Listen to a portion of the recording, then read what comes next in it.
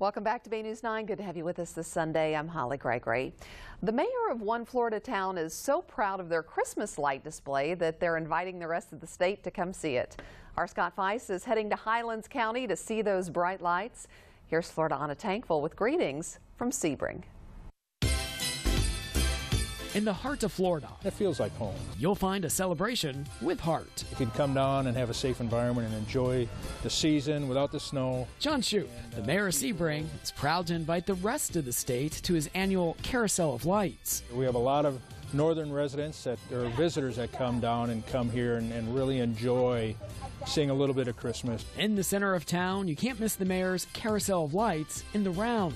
In fact, there's no town square here. It's just a unique thing to have a circle inside of a town in the first place. Around the circle, cars make the rounds over and over and over, while folks stroll on foot. There's tens of thousands of lights out here. John Spiegel starts setting up the carousel of lights just after Halloween, putting together leaping dolphins, strolling flamingos, and even oversized chickens. John says you won't find any inflatables here. We try to go with sort of a vintage uh, feel to the carousel of lights. Plus, each night leading up to Christmas, a visitor from the North Pole makes a special appearance. Dogs like Jazzy here are welcome to take a picture with Santa, along with big kids and kids at heart.